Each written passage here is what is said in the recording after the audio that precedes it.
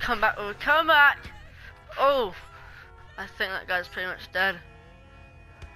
Oh, kick to the nuts. And he just got back in his car. And drives off. Like nothing happened. And this was actually his car. But he's dead now, he got beat the shit out of. He almost had it though. He almost had it.